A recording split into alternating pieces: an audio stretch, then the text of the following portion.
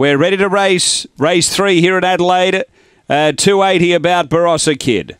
Away, uh, missing the kick there is I'm Buddy Good. There's really good speed, hyper velocity, and pushing on. Golden Ivy's got nice toe. Golden Ivy's going to zip around and challenge uh, for the lead. It gets it here from Golden uh, in second spot, hyper velocity. Then Barossa Kid and three away, Oatway Bale. Next Perkins Bale, I'm Buddy Good, Dancing Bread and Fridge Magnet. Off the back, and it's Golden Ivy out by three. Barossa Kid runs on well. Uh, then came hyper velocity. Golden Ivy in front. Barossa Kid moving up. They drive. Barossa Kid grabbed Golden Ivy right near the line. G. Perkins Bale was rattling home next. Uh, then a hyper velocity from Oatway Bale. Fridge Magnet and I'm Buddy Good back at the end. The time is 30 and 23.